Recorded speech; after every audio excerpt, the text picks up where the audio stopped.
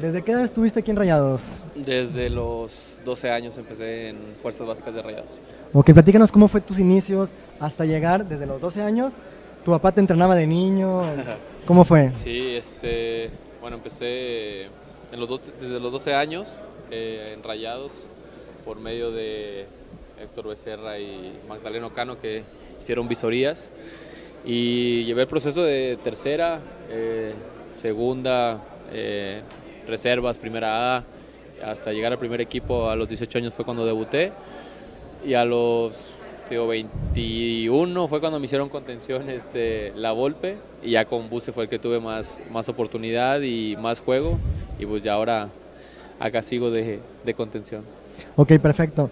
Eh, varios aficionados nos hicieron preguntas a través de internet, de Ajá. Twitter, de Facebook, para conocer cómo viven ustedes este partido. Por ejemplo, Yajaira Guerra nos pregunta que ya tiene varios clásicos vividos, como ahorita mencionabas, pero ¿qué tiene este de especial?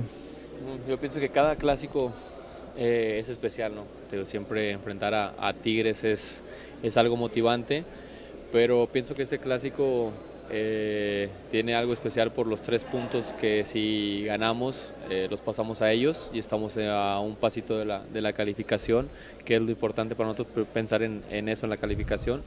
Y digo, es ese extra, yo creo que el sumar esos tres puntos para, para pensar en, en los primeros lugares y pensar en una calificación.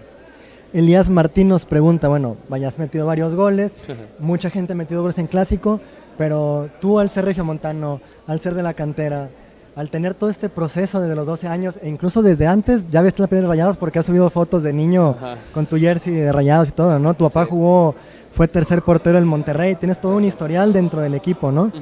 Eh, nos pregunta Martín, ¿qué se siente para ti meter un gol en un clásico que ya lo has hecho?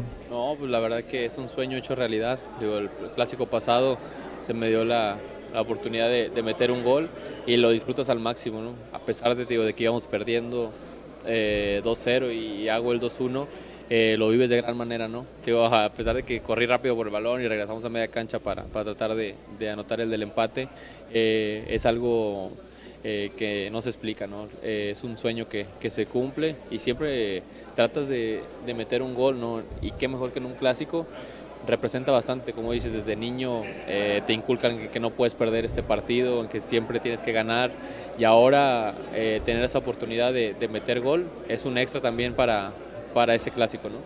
Perfecto. Ahora nos pregunta Fabián García, ¿quién es el jugador de Tigres con quien más roce o has tenido en un partido o pique? ¿Y quién es el más difícil de marcar?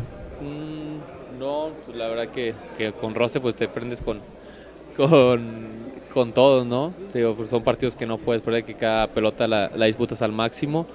Este, digo, tienes, tengo amistades ahora con Carreño que está, que está allá, pero dentro de la cancha eh, se olvida esas amistades, no son 90 minutos en los que tienes que, que dejar todo en la cancha y se pierden las amistades y ya después como si nada, ¿no? Ya vuelves a saludar y todo, pero cada balón lo disputas al máximo, cada jugada tratas de, de salir victorioso y digo, ahora no va a ser la excepción.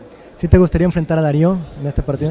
sí, la verdad que tío, es, un, es un gran amigo, eh, lo tuve desde acá de, de Fuerzas Básicas, eh, era mi compañero de, de cuarto en la concentración y bueno, ahora que, que él defiende otros colores y yo, yo acá, va a, ser, va a ser bonito después de, esa, de toda esa amistad, eh, enfrentarnos en la cancha en, en un clásico sería bastante bonito y qué mejor que, que ganarle, ¿no?